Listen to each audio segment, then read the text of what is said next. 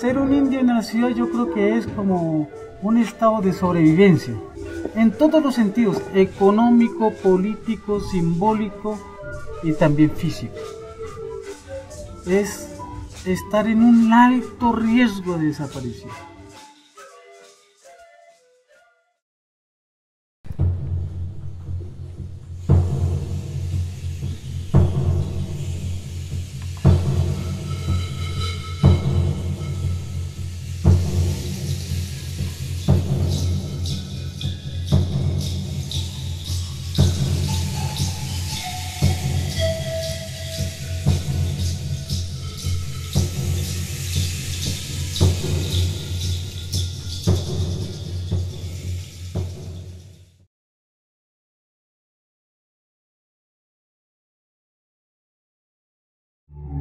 Nombre es Diácara Sonandari Umuni Bayaru, nombre de la nación Tubú Umuni.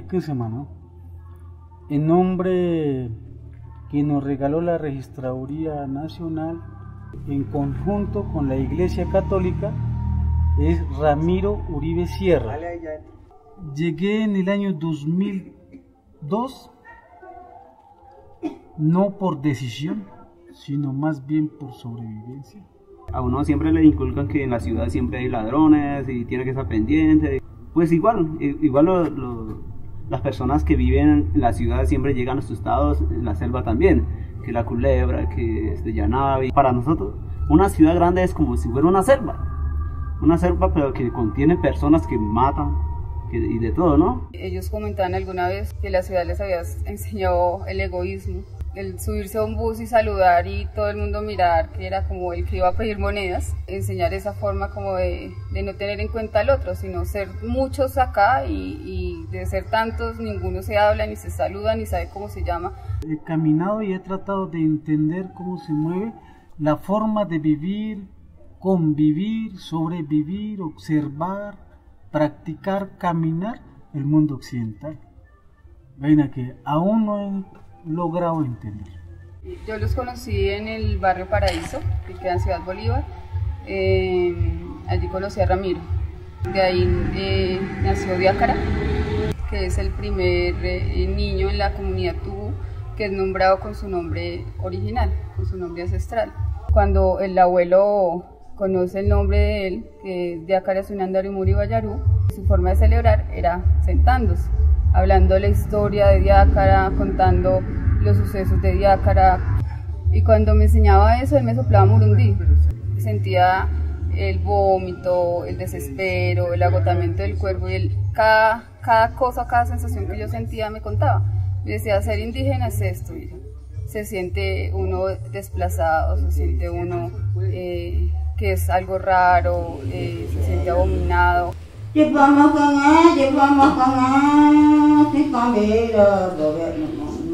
Estoy cantando solita como no hubiera tenido mis parientes. Hijos. Soy la única. Soy la única de,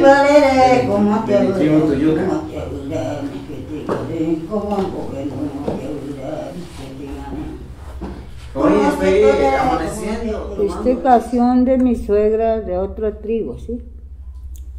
Esta canción de ella entregada de pasión a mí. Ella está cantando así.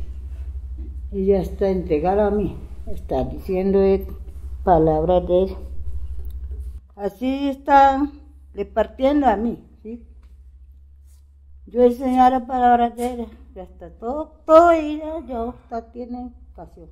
Barazana, Carapana, Tatuyu, mmm, Piratapuya, Banana, Desano.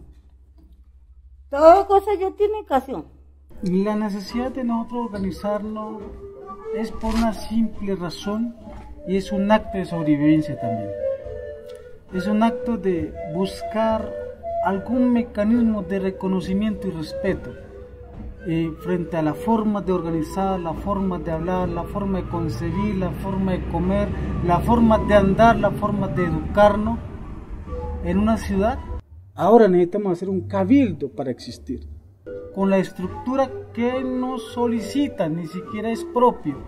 Y eso con el alto riesgo de perder la estructura nata de algún pueblo, en, en nuestro caso el pueblo Tubú. Aún por fuera de su, de su hogar, son muy fuertes. Lo transmiten en su discurso, lo transmiten en sus maneras y en cómo asumen su bagaje cultural.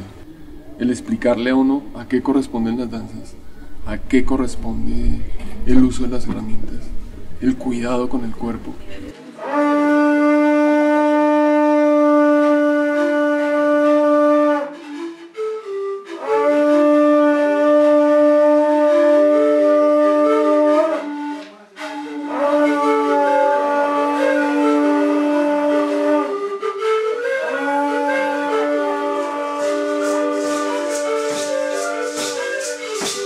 No me siento extraño bailando mi danza en mi propio territorio.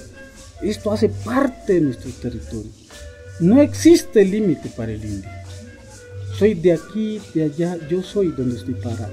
Los extraños no somos nosotros, los extraños son aquellos que llegaron y se atreven a decir que nosotros somos extraños ahora. Conozca la cultura de nosotros, qué es la verdad para nosotros y qué es vivir para nosotros, qué es la felicidad para nosotros y qué es compartir con otras personas nuestros conocimientos, nuestras danzas. Dicen que nosotros los indígenas buscamos a Dios por medio de Yahé, por medio de otras cosas, brujerías y esas cosas, pero nosotros nunca buscamos a Dios por medio de Yahé y por otras cosas más. Solamente buscamos el conocimiento, el saber cómo sanar a la gente, cómo reunir a la gente y cómo dar la felicidad a la gente. Y eso sí, comunico así radicalmente que los indios no son de Dios. Los indios son de sus ancestros y punto. Todo indio, toda nación tiene su historia de nacimiento, tiene su río, tiene su territorio, tiene su comida y sus prácticas. Oiga, no seamos pendejos, de verdad que sí. Somos de esta tierra. Nosotros debemos decir cómo vivir, cómo hacer. Mire esta joda desbarataron todo el mundo. Y luego dicen que los indios son retrasados, cuando lo único que quieren hacer es llenarlo de cemento por doquier. Y el indio realmente lo que se preocupa es y lo que enseña es lo vital, lo humano, lo práctico, lo cotidiano.